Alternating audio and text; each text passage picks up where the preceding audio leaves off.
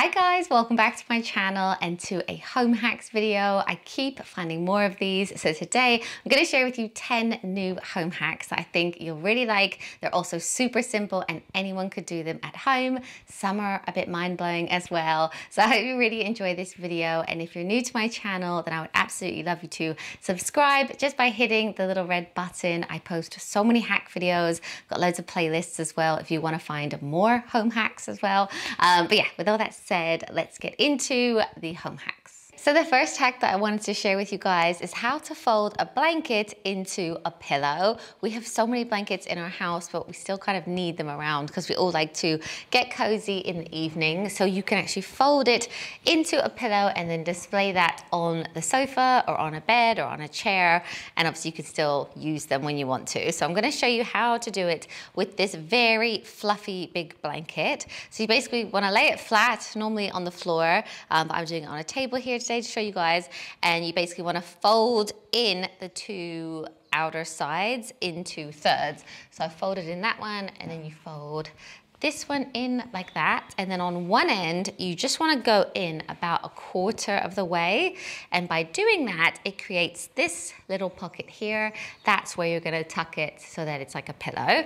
So then once you've done that, you just go in one, two, and then three straight into the pocket. You can squeeze that in, and then you have yourself a little pillow like this. You can display it like that. You can kind of like push in the sides if you want to. You can even chop it if you want to, but it's like a more condensed pillow. This is obviously quite a large one because it's quite a large blanket, but you can use any size. A mum hack that I absolutely love is to wrap an elastic band around this part of your soap dispenser to control how much product your children are using. I know that sounds weird, but since COVID and lockdown, my kids wash their hands more than ever, and I've noticed Jackson does like multiple pumps sometimes, um, so he's getting loads and loads of product. So what you can do is wrap an elastic band, or actually sometimes I need two on these ones, and then it just limits how much soap they're actually getting out. Obviously you want them to wash their hands, but their hands are tiny and so much comes out of these ones. Um, so that's a really good hack. And why it's important is because inflation is the highest it's been for 40 years. Uh, products are costing so much more at the moment. And actually there's something happening in the supermarkets, I don't know if you guys have noticed, where products will stay the same price, but then the manufacturers will actually give you less product. So for instance, Muller lights have been shrinking over the past years. You get like less of it now. Same with bags of Haribo or in some biscuit packs. They'll be the same price, but you'll actually get three biscuits less. I saw an article on it the other day and I just thought it was really interesting. They're calling it shrink, shrinkflation, I think. You sort of limit how much product, then it means that they're not gonna just like waste it for no reason. So now I've put the elastic on, I'll show you how much comes out of it now. Another really cool home hack is an easy way to see if a battery is fresh or if it's old. If you have a junk drawer with random batteries in it, this is a perfect test for you. That's what we have. Um, all you have to do is drop this part of it onto the surface and if the battery is fresh it won't bounce but if it is old and it's been used it will bounce quite high so this one is fresh so it shouldn't really bounce um, so I'll just show you yeah, didn't bounce. Whereas if it's old, it goes boom, like that. Something to do with the alkaline, I'm not sure, but it works. Next up, I wanted to show you two easy ways to soften butter. This always happens to me when I'm baking and I don't actually have softened butter. These are some really easy quick fixes, like in five minutes. So the first one I saw on TikTok and I thought it was just genius. It is to use a sieve like this, like a wired one, to kind of grate the hard butter. So you literally just rub it on the top like this, and then you can see it coming out the top in very fine like grates like that. Hopefully you can see that. Mm. And it just softens it so quickly. It's so easy. You can just rub it on top and then put it into the bowl and you have softened butter. Love that one. And the second one takes just five minutes to soften a stick of butter. And it is to fill up a glass or a cup like this that will fit over top of your butter with boiling water. Give it a minute and then you dump it out. And then you put that over the top of your butter. Oh, whoops, I've got it the wrong way, sorry. like this. Uh, leave it there for about five minutes and then it will be soft. The next hack is a super simple one, but I thought it was worth sharing with you guys because whenever I do it, I absolutely love it. And it is, I pretty much only use my ice cream scoop for making muffins because when I make up my muffin batter, it's so easy to just get a scoop of it like this. And then because it has this bit in the middle, it will like throw it out into the muffin case. So rather than use two spoons and like fiddle with it, this is a really great hack when you're baking or making muffins or cupcakes, whatever. This next home hack is such a simple one, but I wanted to share it because I put it on my Instagram and TikTok and it went viral. It just blew up. Everyone seemed to love it.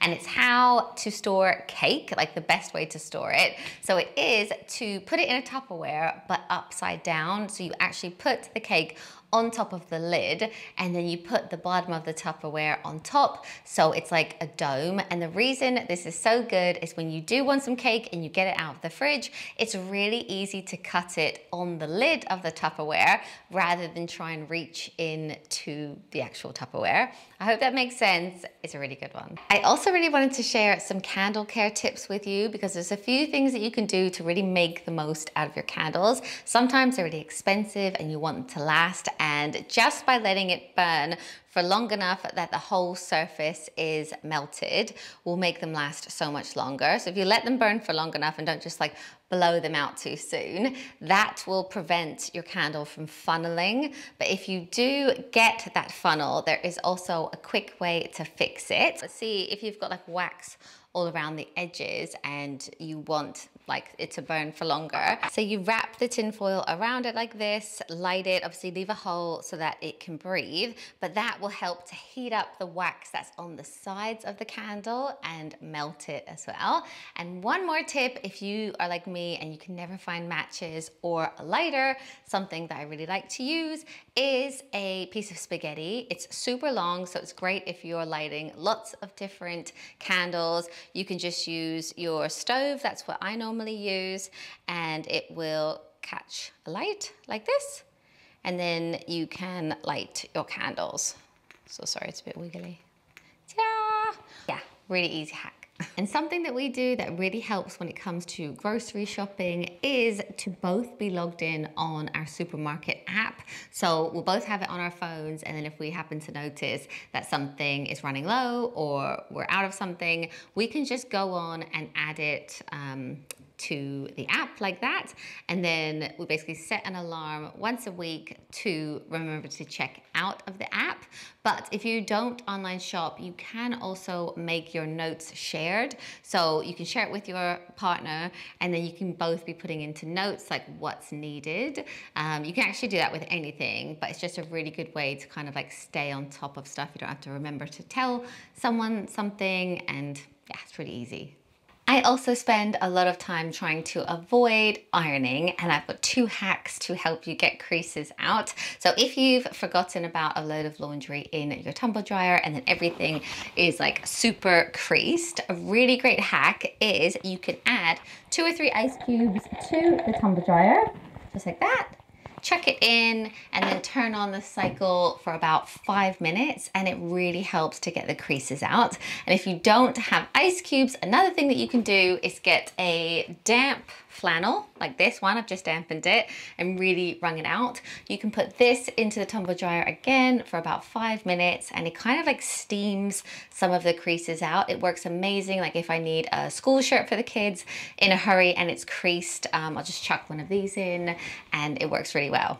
I've also found a use for hangers like this. When I online shop or order anything, I get so many of these hangers and they're not actually great for me to use in my wardrobe, but these clips are, so you can actually pull them off the end like that and you can use it as a bag clip for crisps or you can also use them in your freezer as well to hold together peas, stuff like that. So I just thought it was like a great use. If you're not gonna bother using these, you can actually pull them off. Okay guys, so that's it for this video. I really hope you enjoyed it. Let me know in the comments below if you learned something new, if there's any here that you will try, and I'll see you in my next one. Bye guys!